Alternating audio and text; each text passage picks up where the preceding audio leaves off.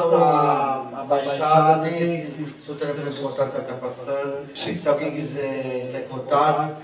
Agora, sobre a alienação parental. O que é alienação parental? É, agora em abril. Só pergunta o que, que é isso, eu não sei o que, que é, É, isso. em abril agora, do nós, é, no dia 25 de abril, eu sei que você está passado, envolvido nessa discussão. sim, bastante. No dia um pouco. 25 de abril passado, é, é o Dia Internacional de Combate à Alienação Parental. E aí, uma série de mães e pais que passam por, esse, por essa questão, que é a tentativa né, de. é a prática de um genitor tentar anular o outro, né, cortar os vínculos do filho com o outro genitor. É, desqualificando, afastando, várias, difamando de várias Ah, maneiras pai que isso. seu pai nada. Sim, até mesmo que vai desde de, de, de, de pequenos gestos do tipo é, não deixar passar um feriado com o pai, criar uma situação, até coisas muito graves. A gente tem denúncias de abuso sexual aí, é, muito graves. E há pouco tempo uma, uma juíza atentou, 80% das denúncias hoje que vão desde a ameaça e injúria até abuso são falsos. Ali está sendo desvirtuado de uma maneira muito Ah, triste. Quer dizer, a mãe diz que a- o filho é abusado pelo pai. Sim, abusado, abusado sexualmente pelo pai. Ou diz que é, Aí até que prova daquilo, fica afastado até passar. cara, o cara é mal, fica mal visto de trabalho. É. E geralmente a gente já falou isso. Às vezes a mãe faz questão, é, está tipificado no Código Penal como denunciação caluniosa. Isso aí é, é bastante grave. É importante saber É. que alguma mãe tá, um pai, alguma mãe tá assistindo o nosso programa, já vai saber, ó, se fizer isso, já vai ter, vai ter alguma punição. Não só isso, Eugênio. Por exemplo, eu sou uma pessoa que está lá registrada na delegacia de Maricá como uma pessoa que ameaça mulheres. Você consegue visualizar isso? É, É. Eu, como eu falei, sem cruzes. vai, vai ter você. É, você imagina. Né? Logo você sabe da história da gente aqui, da relação que a gente tem com o movimento de mulheres, da, da questão da Você relação vai provar para as autoridades que você fez aquilo. Aí gera aborrecimento, gera tempo. Não, você a gente é foi- foi atendido. Fica fragilizado psicologicamente. Não, a gente foi atendido, mas tem outras motivações aí na delegacia de Maricá, né, que eu não venho o caso de expor aqui, mas vai expor judicialmente. De maneira horrorosa pela, pela, pelas profissionais da, da delegacia de Maricá. Mas os profissionais sabem que quem é profissional na delegacia deve saber que tem esse tipo de situação, né? Sim, Eugênio, mas assim, primeiro passo já tem um preconceito aí, é, quando o cara é enrolado ali em Maria da Penha, já é colocado como agressor. Só que Maricá tem outra, outra questão que é uma possível influência nefasta dentro do- dos órgãos públicos lá. E isso aí a gente vai estar questionando judicialmente. Porque assim, é, eu tenho um histórico que vai, uma prática dessa, mesmo que seja um arrobo, vai de contrário todo o histórico de vida que eu tenho. Eu estou com 45 anos de idade, estou há 30 anos numa militância que é feita de várias maneiras diferentes.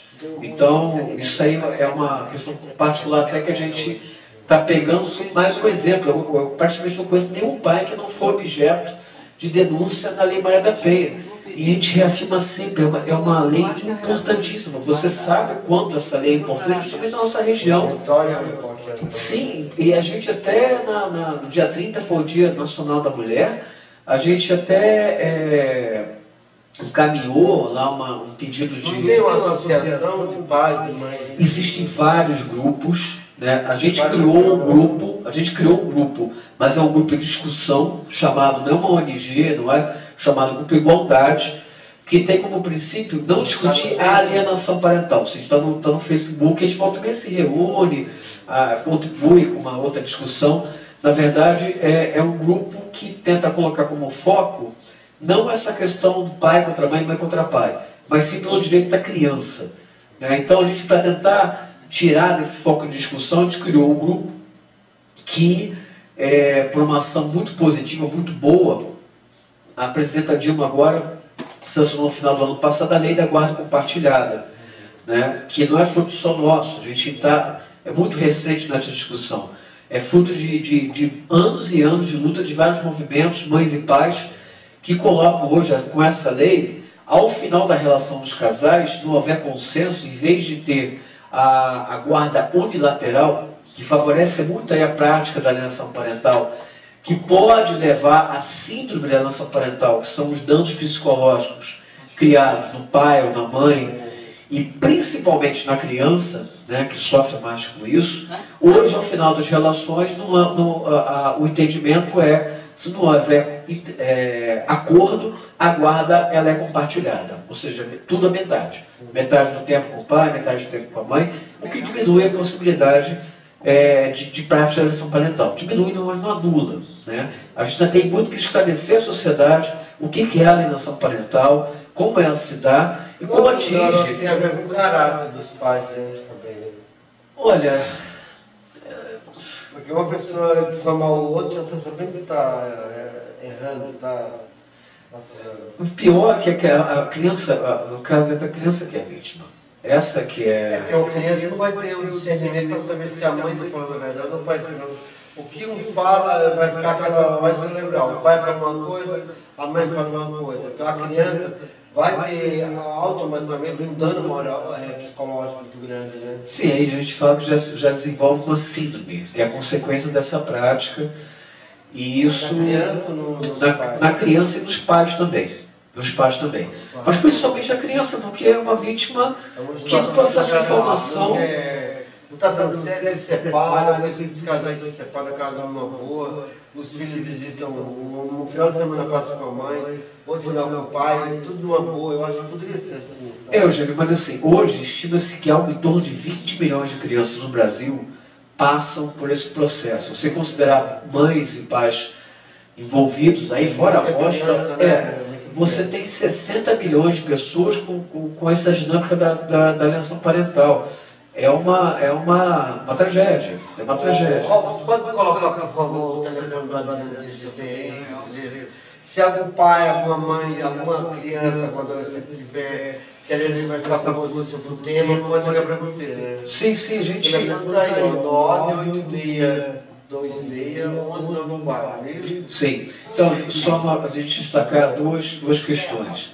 Recentemente, um parlamentar aqui do Rio de Janeiro, deputado estadual André Siciliano, entrou com uma lei de número 222-2015, em que faz uma campanha de esclarecimento sobre a alienação parental, principalmente para agentes do Estado. Uma campanha permanente do o Estado ele se é, assuma de, de, divulgar o que, que é essa questão, porque tem muito agente do Estado que acaba participando do processo de seleção parental, mesmo sem saber. Alguns com dolo, né? outros sem saber. Né? Quando o policial acata né, é, uma denúncia sem tentar levantar uma informação, ele é participante, ele é responsável, pode ser responsabilizado juridicamente, o Estado também pode ser responsabilizado. Quando o colégio.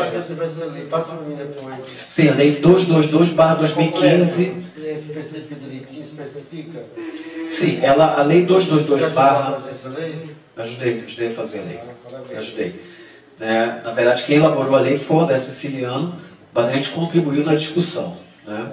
É, e também a gente em breve vai ter uma audiência pública na Assembleia para discutir não só a questão da ação parental, porque a alienação parental já é violência. A gente quer discutir o, a, a, lei de guarda compartilhada. A gente tem que falar, olha, existem problemas, existem essas violações aqui. Mas a gente quer discutir, existe hoje uma norma e que é um, um instrumento de prevenção a esta violência. Então, o próprio parlamentar, o deputado André Siciliano, está propondo uma audiência pública em que é, a gente vai abrir essa discussão lá para, além de levantar o que, que é exatamente, porque ainda há muito desconhecimento, as pessoas sabem da prática, mas não sabem do nome. É, também discuta é, essa forma de prevenção que é a, a, questão da guarda compartilhada. Tá bom, Adriano. Olha, o José de contato está aí, você venha sempre, quando você quiser, aqui as portas estão sempre abertas para você, tá bom? Obrigado. Porque são temas que você traz pertinentes à população, não só da Baixada, mas do Brasil, do Estado do Rio de Janeiro. sobre a questão da segurança que está aí, a fragilidade muito grande em relação à segurança, a discussão sobre a moralidade penal, que é uma coisa muito polêmica. Infelizmente, nosso tempo acabou, mas eu espero que esse irmão volte mais vezes, tá bom? Sim, a gente vai marcar com certeza, vai estar aí participando. Te agradeço mais uma vez o espaço. Obrigado pela audiência, conversei com a Adriana Dias, cidadão com causa, e é uma figura pública muito, que tem um trabalho muito interessante, é um trabalho mega importante aqui na Baixada Fluminense, principalmente na educação. Obrigado por, por ter vindo. Obrigado.